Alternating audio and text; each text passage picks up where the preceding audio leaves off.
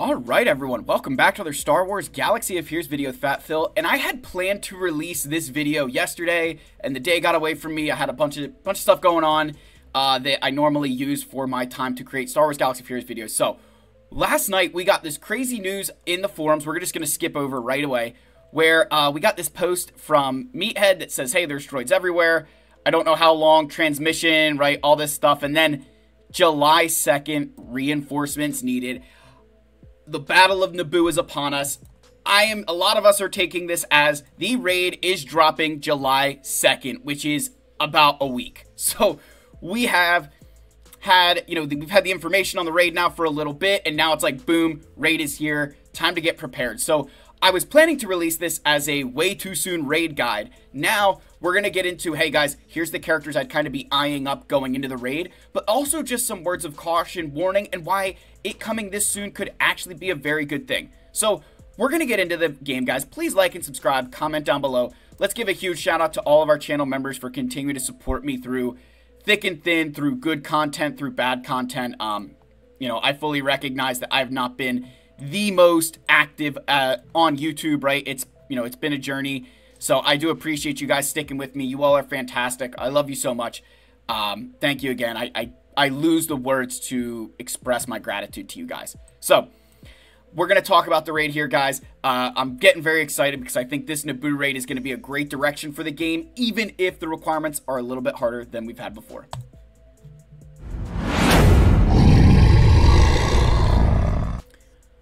All right, so let's we got to start off with the big hitters, right?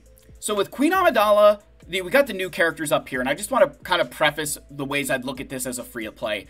And it depends where you are in the game, but someone like Queen Amidala, I think she's well worth the relics, even if you don't have Padawan Obi-Wan and Master Qui-Gon yet. She's going to be vital in the raid. You're going to be able to create a team for her that will still score well. I think this is going to be one of those situations where, yes, you want the best team for her possible. You want Padawan Obi-Wan, you want Master Qui-Gon, but don't be afraid to relic her and kind of use her with some different teams in order to get usage out of them. Like, I think that she'll be fine even without, you know, Master Qui-Gon, Padawan Obi-Wan. And the same thing about Padawan Obi-Wan and Master Qui-Gon.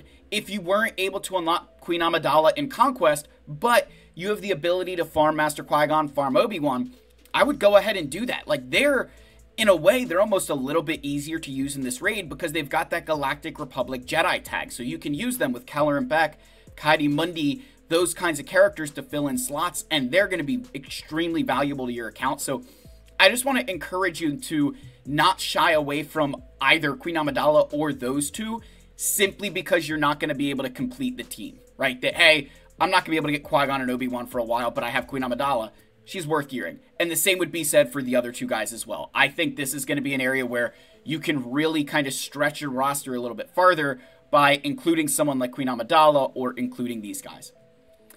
Now, with the Gungans, on the other hand, they're kind of like the Musketeers, right? It's all for one and one for all. You've got to get all of them. It's going to take dedication here. Either you're going to go for Jar Jar or skip him. I don't think there's a middle ground where I'm like, oh yeah, you know, just get a couple of the Gungans and you'll be fine for the raid. Like, either invest everything here or nothing. Personally, I'm going everything. As you guys can tell, we're closing in on Gungan Boomadier.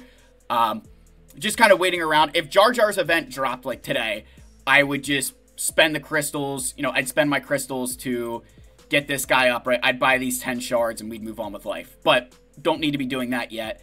So um, you know, but again, with the Gungans, unlike this team up here, I'm not going to recommend just building one or two of them, right? You want the full team.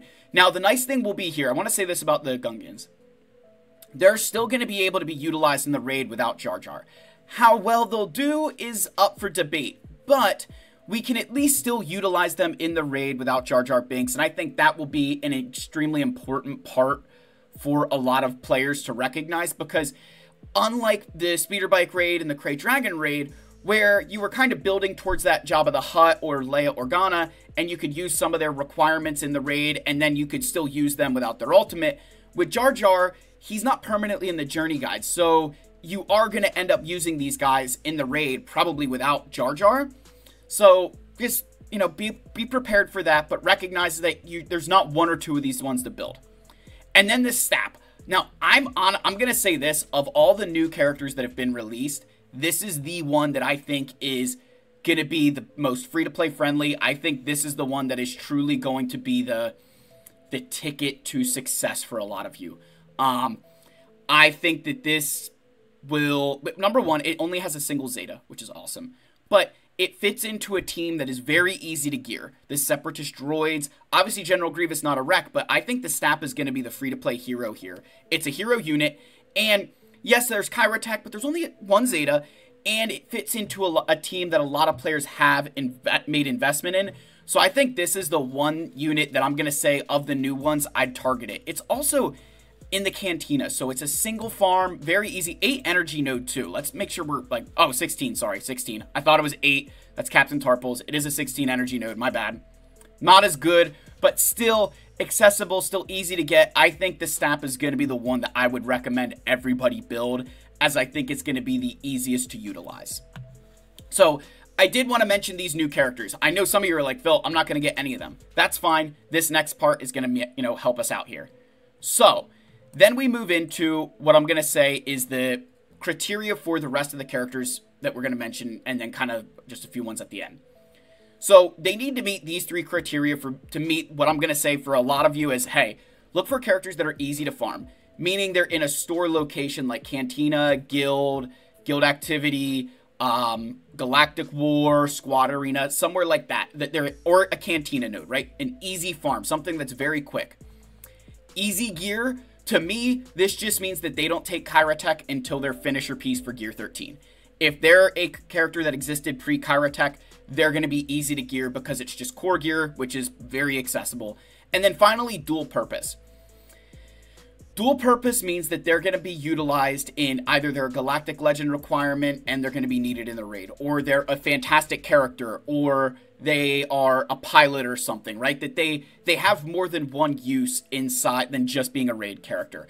As we build into this game and kind of progress through, I want to encourage you to try to build things that check off multiple boxes at the same time.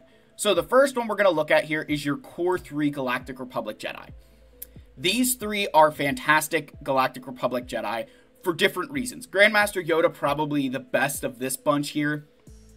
You can use him with Jedi Master Kenobi, use him with Jedi Master Luke, Jedi Knight Cal Kestis, Jedi Knight Luke, Jedi Knight Red. Like uh, he, you can use him everywhere. Mace Windu, not quite as versatile because he has a taunt, which can kind of pull him away. Like you don't want to use him quite with Jedi Master Luke because Mace Windu does have a taunt, but still very good with Qui Gon Jinn, Kelleran Beq, Jedi Master Kenobi, even like Padme teams. You know, Mace Windu has a lot of good uses there. And then Qui Gon Jinn, he's a um, he's a Galactic Legend wreck, and he has the Grand Arena Omicron. So all these guys are required for Jedi Master Kenobi. I should have prefaced that. But Qui Gon does have that GAC Omicron, which can make that team very, very good. Um, this is a great like starter to an early team, and very easy to get, very easy gear. Because Grandmaster Yoda, even though he's a legendary character, getting five Jedi is not hard, and especially if you're building for this raid, like it's even easier. So I want to make sure that we take advantage of those guys. Now, the next three units that we have here are Luminara, Aayla Secura, and Plo Koon.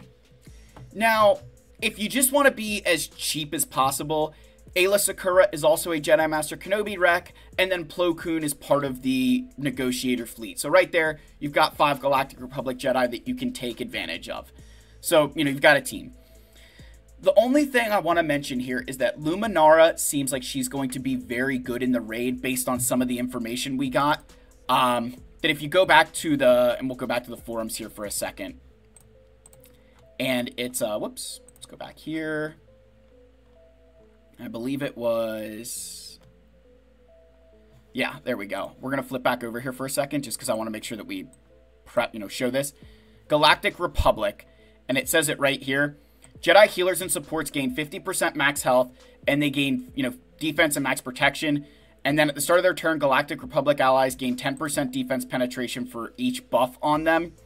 And then if the ally in the leader slot is a healer, whenever they recover health, they recover protection, you know, like all of these things are super, super nice. So Luminara is that, you know, Jedi healer and support. So that's kind of why I'm throwing her into the mix.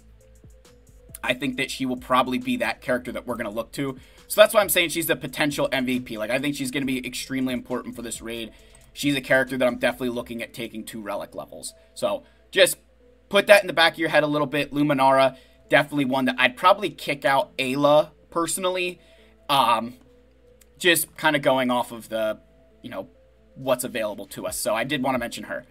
But then we've got these three characters Nute, Maul, and Sidious. Darth Maul, that is.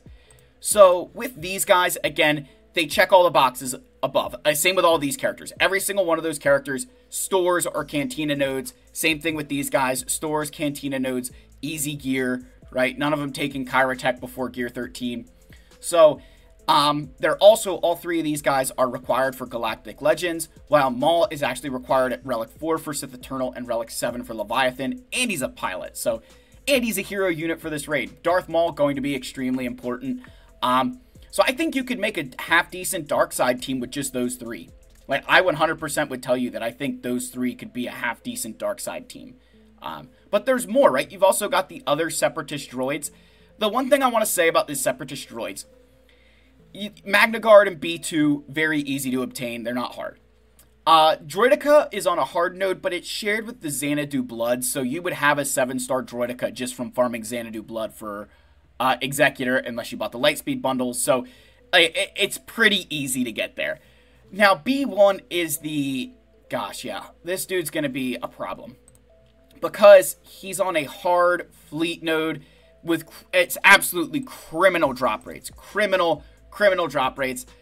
Unfortunately, there's not a lot you can do there, but um, even if you slowly work towards it, you'll be able to get him. Uh, again, they do make a very good team with General Grievous, but I think those are kind of the characters that I'd say like up above. You know, once we this next one's down here, we're gonna ignore for a second that these characters from like B1 and up to you know like Yoda. These are the characters that if I'm looking at you and saying where to invest your resources as a new player in the game, as a free to play, if you're not looking at some of the stuff up here, it's down in this range. It's the characters that are to dual purpose, easy gear, and, you know, accessible farms. I think that will really help you improve your account. Like, you'll be able to farm, just take this into consideration.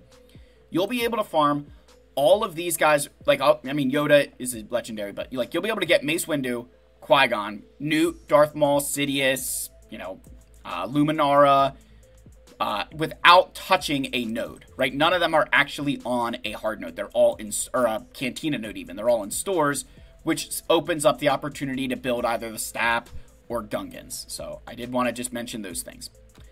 Now, Kelleran Beq and Ki-Adi-Mundi. I know that these are not quite as accessible characters, but I do believe, especially I think Ki-Adi-Mundi, when I say that Ki-Adi-Mundi is going to be crazy for this raid because of his unique ability that at the start of battle, all allies are Galactic Republic Jedi. They gain speed, health, and offense. And the bigger part here is that support and healers have offense equal to 10% of their max health. So, with all of the health gains that they're going to be getting, I think he is going to really, really boost the amount of damage on those teams. So, my recommendation is going to tell you right away that, hey, if you have the ability to gear Ki-Adi-Mundi, do it. This raid, he's going to shine. Kelleran Beq, I think, will be a solid character just as kind of a filler if you have him, that you can kind of put him in that Queen Amidala team or a Galactic Republic Jedi team. I don't know if his leadership will be as good in the raid as some of the others, simply because of that, you know, Luminara, but you could potentially come up with a secondary team for Kelleran Beq, or maybe you got to throw him in with the uh, Queen Amidala team just to get a Relic 7 out of it, you know, whatever the case is. But I do think that they're both solid investments for what they do outside of this rate as well. Um, so I did want to at least mention them in that in that light. Then we get down to these five characters, and I'm just gonna say that I have a feeling that they're gonna be like the best raid characters. I I don't know why. I just have this feeling that these guys are going to be the best raid characters because that's what Capital Games does to us.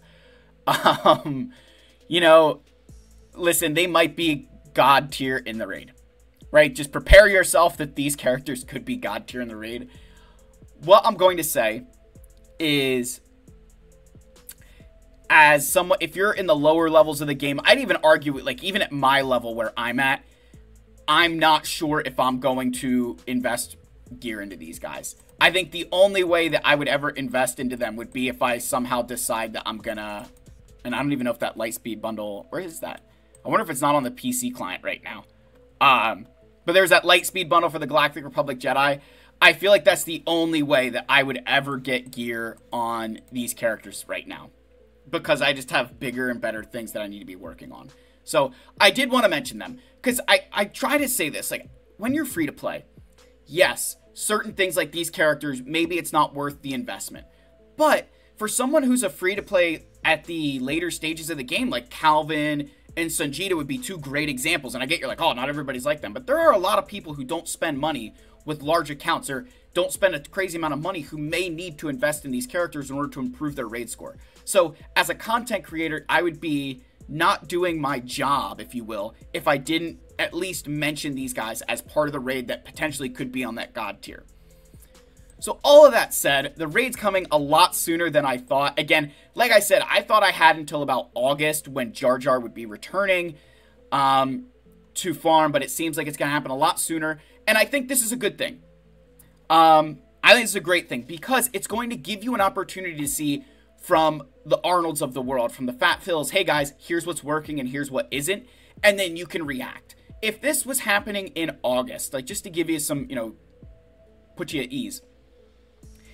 If this was going to happen in August, your guild would expect that you would be much more prepared for what's coming than, hey, it's happening a month earlier. All right, everybody just kind of let's wait and see what's going to work and then we'll hit the ground running. So I think this is actually a blessing that Capital Games kind of throwing it out here that instead of saying, hey, it's coming in August, and then your guild's like, why don't you have Eeth Koth and Kit Fisto ready? Where now they're like, all right, pump the brakes. Let's see what teams are amazing, and then we'll tell you what to build. So I think this is good. I'm excited for the raid. I do think that the requirements are a bit skewed towards the top end compared to some of the more recent, compared to the Krayt Dragon raid, compared to the Speeder Bike raid but that is the direction SWGOH is trending. There have been a lot of updates to make it easier to build a roster while working on these newer things. A lot of stuff has been added to stores, which I need to cover that in a video. So let me know your thoughts, guys. I've rambled on enough. I love you all. Thank you so much for watching. May the force be with you. I'll see you in the next one. Cheers, my friends.